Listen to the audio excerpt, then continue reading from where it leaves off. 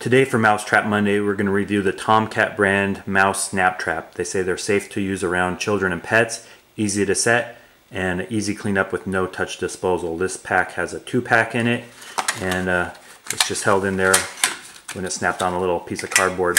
Here's what the Tomcat Snap mouse trap looks like close up. To set it, all you have to do is push the back of this trap and it automatically sets. There's a little yellow pad here for uh, placing some bait and when the mouse steps on that, it closes and kills them.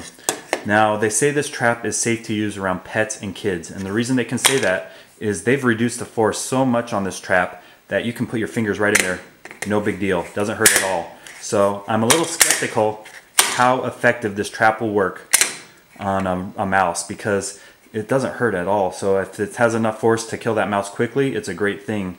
But the only way to know is to put it in front of the motion cameras and see. So we'll go put this trap out in the barn, set it up overnight, and see if it quickly and humanely kills a mouse like it says it does.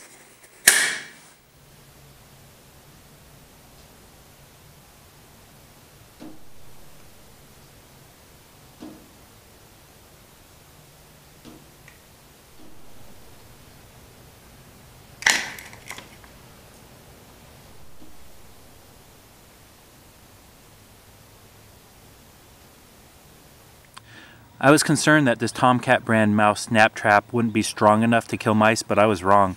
It works great, it kills the mice very quickly, and it's very easy to set and uh, to release the mouse too. If you don't even touch the mouse, all you have to do is just pinch the back and uh, throw that into the garbage, and it's set again, ready to catch another one. Overall, a very good trap and very safe.